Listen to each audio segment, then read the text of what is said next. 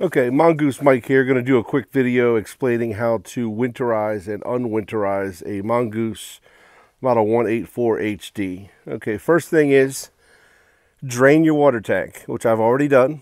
So we're going to drain all the water out of your tank and then shut your main drain valve there. Come up to the front, make sure that your main water valve is closed, and then you're going to open your antifreeze valve which is right here. Okay. And it will gravity feed antifreeze to the pump. You'll see antifreeze coming into the filter housing. You see it's turning pink. Okay, once it gets to the air bleed, you're good to go. So now you've given your pump antifreeze instead of water. Now, as you can see, I always start with my antifreeze just to the base of that brass fitting. Now we just ran some out of it, so some of the antifreeze ran down, but we always want to have a starting point for our antifreeze. That way when you pump your antifreeze back in, you want to start just a hair lower than, you want to stop just a hair lower than where you started. That way you can keep from diluting it and pumping water into your antifreeze tank. So add maybe a gallon or a half a gallon each time. All right. So as soon as we start the engine, the pump's going to start pumping. So it's important that as soon as we start the engine, I'm going to turn the water jet to on.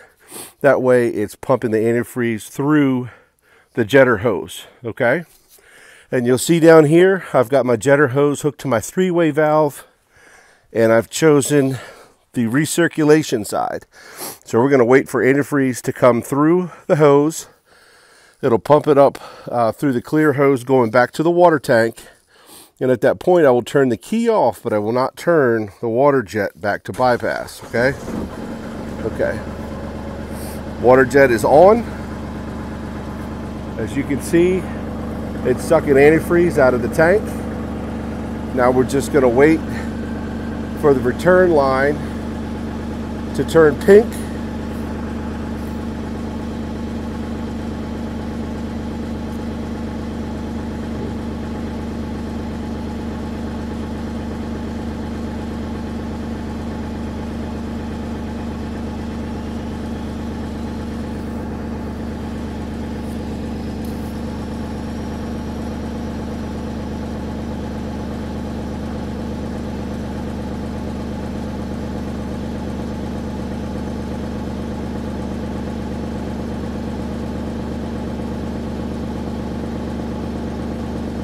Boom. You see the middle line there turn pink. So now it's sent antifreeze all the way through the jet hose, all the way back to your tank. And whatever water was in this hose also was pumped back to your main water tank. Okay. So there's two lines left. All right. So now we're going to switch this over, the ball valve over to return to antifreeze tank. And we're going to crack open your your Veriflow valve. So now it will, when I turn the engine back on, it'll pump antifreeze back to the antifreeze tank and through your Veriflow line. Remember the pump was left on.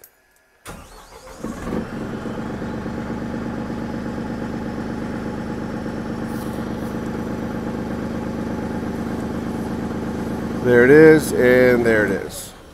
So now we've got antifreeze through all the lines. It's completely winterized. Okay, and we're on return to antifreeze. So we shut our Veriflow valve. And now since we're already hooked to return to antifreeze tank, all we have to do to unwinterize it is put water in it like you would when you're ready to jet. Close your antifreeze valve, open your main water valve, and turn it on. And when you turn it on, you'll see your antifreeze level start to rise.